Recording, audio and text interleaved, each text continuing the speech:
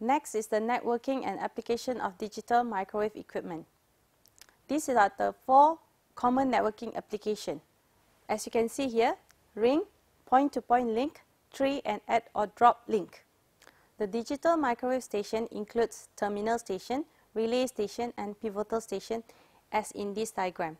The terminal station usually is located at the end of the line or end of the branch and it's also the station transmitting only one direction. The relay station is the middle station without add or drop function. The pivotal station is usually located at the backbone. It is having a multi-direction. It is also called as the hub station. Relay stations are divided into two types, passive and active. The passive, you have parabolic reflectors or plane reflector. For active, you have regenerative relay, IF relay or RF relay. For active relay stations, you have RF direct station which amplifies the microwave signal at RF band bidirectionally without frequency shift.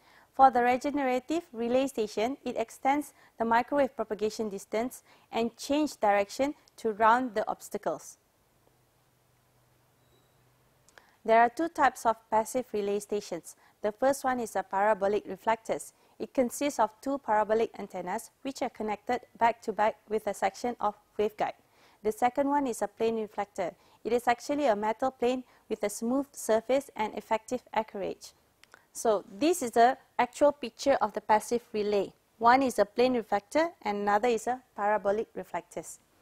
Digital microwave can be applied for the supplement for optical network, the last mile access, special transmission situation over river, lake and island, emergency communication for large activity or crisis, for VIP customer access, critical link backup and backhaul transmission for mobile BTS.